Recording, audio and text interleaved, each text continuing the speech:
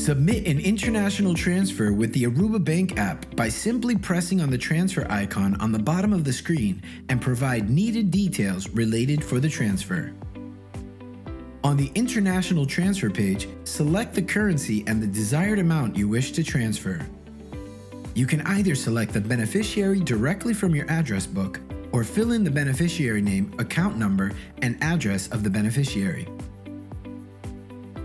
Fill in the BIC code of the beneficiary bank. Select the proper reference code related to the transfer.